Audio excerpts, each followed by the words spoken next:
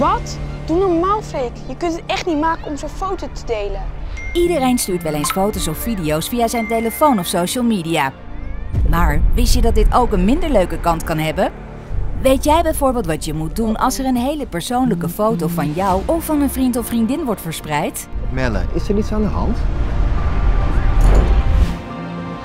In Vet Veilig de Game is er een sectiefoto van iemand op school gelekt.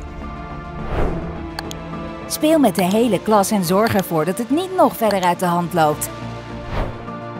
Het is natuurlijk veel beter om dit soort situaties te voorkomen. Want als je een persoonlijke foto wilt maken en versturen, kan dat ook op een veilige manier. Zo voorkom je dat het uit de hand loopt. Speel vet veilig de game en game samen voor veiligheid.